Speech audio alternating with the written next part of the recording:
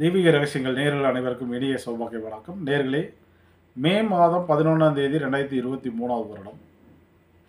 இன்றைய நாளை பொறுத்தவரை நமக்கு அதிகப்படியான யோக பலனை தரக்கூடிய கிரகமாக நீண்ட நாட்களுக்கு பிறகு சூரியன் நமக்கு வந்து அமைகிறார். யோகத்தின் அடிப்படையில் பார்க்கும்போது சுபம் நாம யோகம் என்பது காலையிலிருந்து மதியம் சரியாக ஒரு மூணு மணி மூணேகால் மணி வரை நமக்கு வந்து அமைகிறது. கரணத்தை பொறுத்தவரை வணிஷ கரணம் என்பது காலையிலேருந்து பதினோரு மணி இருபத்தி ஆறு நிமிடங்கள் வரை இருக்குது இந்த சுபம் நாம யோகத்துக்கு யோகி சூரியன் அதே போல் வணிஷ கரணத்திற்கும் கரணநாதம் சூரியன்.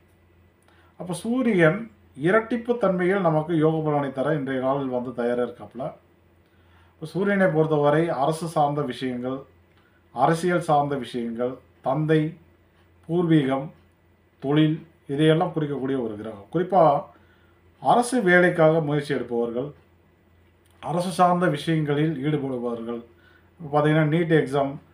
ஸோ இந்த மாதிரிலாம் கவர்மெண்ட்டோடைய எக்ஸாம்லாம் வந்து எழுதுபவர்கள் அதே போல் கவர்மெண்ட் சலுகைகளை வந்து பயன்படுத்தி கொள்ள விரும்புபவர்கள் இவர்களெல்லாம் வந்து இந்த மாதிரி நாட்களை வந்து சரியாக வந்து பயன்படுத்திக்கணும்.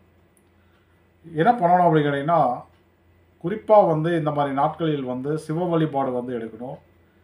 சிவனுக்கு முன்னாடி இருக்கக்கூடிய நந்தி வழிபாட்டுக்கு ரொம்ப முக்கியத்துவம் கொடுக்கணும். உயிரோடு இருக்கக்கூடிய நந்தி தான் காளை மாடு. இப்போ காளை மாட்டுடைய வழிபாட்டை எடுக்கலாம். அது ஏதோ உணவு கொடுத்து தொட்டு வணங்கலாம். ஸோ இதையெல்லாம் நீங்கள் வந்து பண்ணும்போது அரசு சார்ந்து நீங்கள் எடுக்கக்கூடிய முயற்சிகளில் எளிதில் வந்து வெற்றியை வந்து பெ- பெற முடியும் உங்களால். ஸோ எனவே இந்த மாதிரி விஷயங்களை வந்து சரியாக பயன்படுத்திக்கோங்க. முடிந்தளவு தகவல்களை வந்து பகிருங்கள். நன்றி. வணக்கம்.